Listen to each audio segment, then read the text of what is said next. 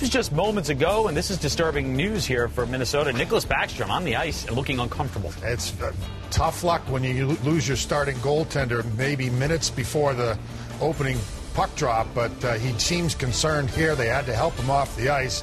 Have no clue how serious this is, but uh, if indeed he does not play, not a good sign for Minnesota. Josh Harding will get the start and goal. Then if Backstrom can't go, Josh Harding only played 40 minutes since February the 7th.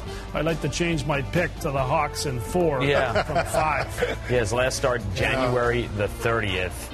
We'll see who takes. So well, we've, we've been speaking for an hour and we haven't brought up health. That's a huge part of how to win a Stanley Cup. You got to stay healthy. Got to have luck and health.